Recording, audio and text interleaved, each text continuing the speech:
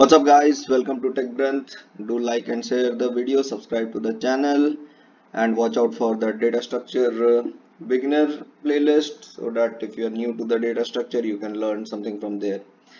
So here we need to solve the problem where we are given a string and we need to convert it into lowercase and uh, return the same string in the lowercase and uh, basically they are they want us not to use any library function and we have to convert it into the lowercase so the easiest way to do it is uh, to go through the ASCII value of each of the character that we have. So if the character is an uppercase character you need to convert it into lowercase by adding something to it.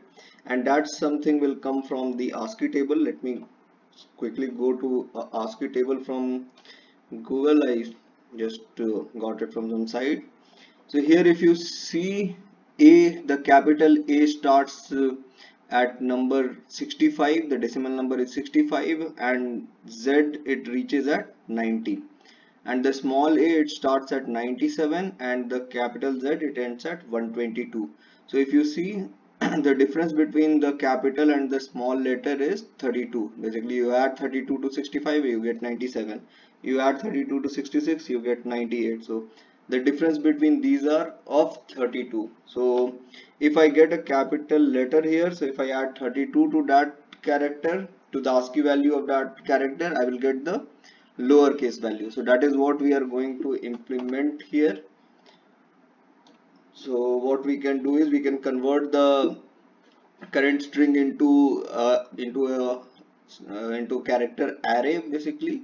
And uh, then that character array can be further converted into string. So we will say char array which will be my result. So this result array will be new char array of str dot length.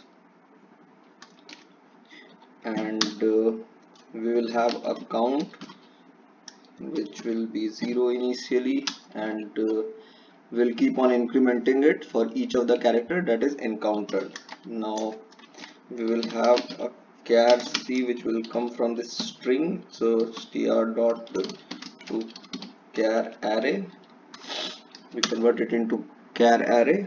And uh, then we will see if this c is greater than equal to a and this c is less than equal to z. So if it is between a to z in that particular case uh, in that particular case uh, we have a capital letter coming in uh, means we have a capital letter in this string. So if it is between these two so what we will do is we will when we create our results so result dot uh, count. So this array will be a char so it will be c plus 32 so we'll simply add 32 to this character. So if it is a we'll add 32 to it it will become small a.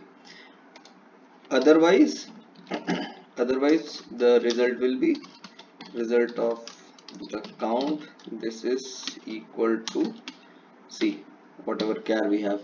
If it is not between these two so it means that it is a lowercase uh, it is lowercase by default and we'll say count plus plus. So that is how we have this character array built up. And uh, since we have to return string so when we return we will say new string for this result. And that's it. So if I run the code so that is how this hello got converted into this hello. So we'll submit it